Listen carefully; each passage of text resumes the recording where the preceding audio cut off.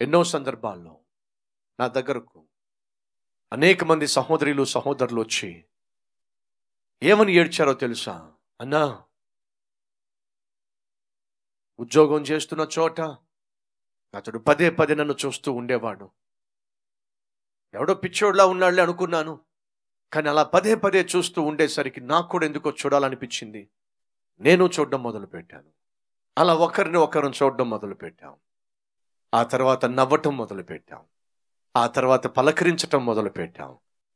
ఆ తర్వాత చట్టా పట్టాలు వేసుకుని తిరగడం మొదలుపెట్టాం.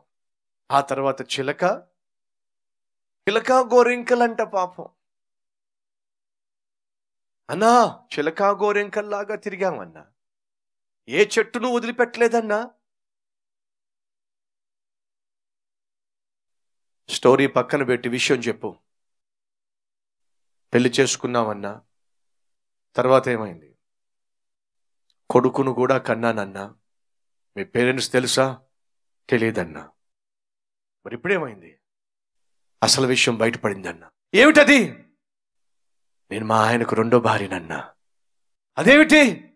ముందు ఈ విషయం. హింట్ కూడా ఇవ్వలేదన్న నాకు. అనుమానం కూడా రాలేదన్నా.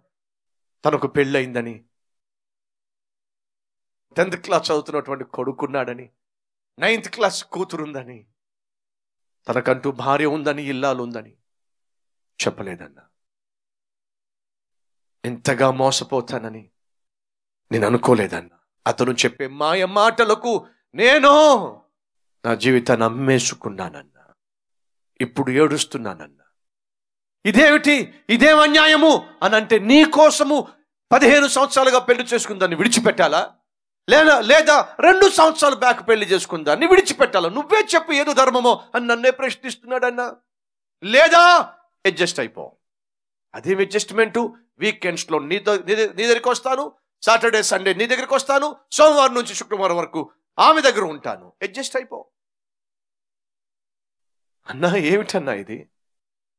అడ్జస్ట్ అయిపోవడానికి ఇదేమైనా బ్యాగ్గా? అడ్జస్ట్ అయిపోవడానికి ఇదేమైనా సీటా?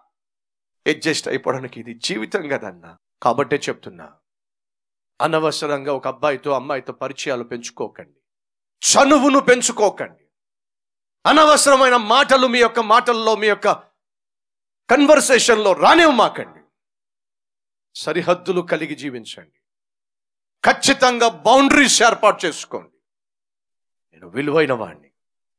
నేను వెలపెట్టి కొనబడిన వాణ్ణి. అడ్డకోలు జీవితం జీవించడానికి అడ్డమైన దారులు తొక్కడానికి అడ్డంగా జీవించడానికి వీల్లేదో. నేను నా క్రీస్తు రక్తము ద్వారా కొడ కడగబడిన వాణ్ణి కొనబడిన దాన్ని.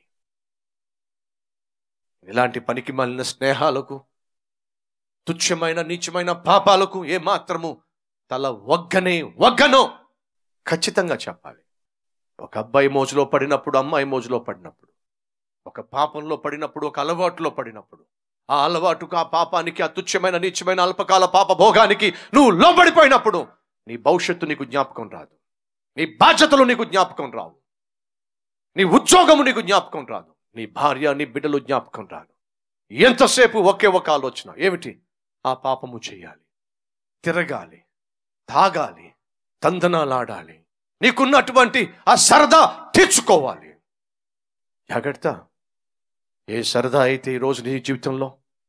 నీకు సరదాను పుట్టిస్తుందో?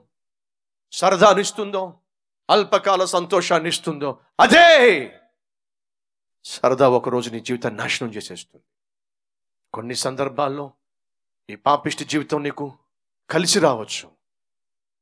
ఆస్తి ఉన్న అమ్మాయి స్నేహితురాలుగా దొరకటమో? ఆస్తి ఉన్న అబ్బాయి నీకు స్నేహితుడిగా దొరకటమో?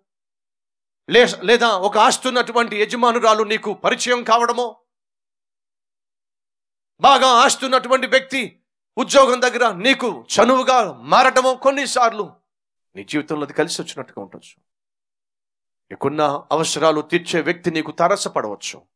ఎప్పుడు కావాలంటే అప్పుడు డబ్బు ఇచ్చేవాడు ఎంత కావాలంటే అంటాం డబ్బు ఇచ్చేది ఒకవేళ నీకు పరిచయం ఏర్పడవచ్చు ఆ పరిచయం కాస్త చనువుగా మారచ్చు. ఆ చనువు కాస్త సరిహద్దులు దాటి ఆ పిష్టి జీవితానికి లోను చేయొచ్చు. ఈరోజు నువ్వు కలిగి ఉన్న ఆ పాపమేమిటో ఆ స్నేహం ఏమిటో ఆ బంధం ఏమిటో ఆ వ్యాపారం ఏమిటో వ్యవహారం ఏమిటో నీకే తెలుసు. దాన్ని ఈరోజు విడిచిపెడితే మంచిది లేదా? అది నేను చంపకుండా విడిచిపెట్టదు. నిన్ను నాశనము చేయకుండా అది విడిచిపెడదు. ఆ రోజు రాకమునిపి ఈ రోజే మోకాళ్ళ మీద పడతావా? ప్రభును వేడుకుంటావా?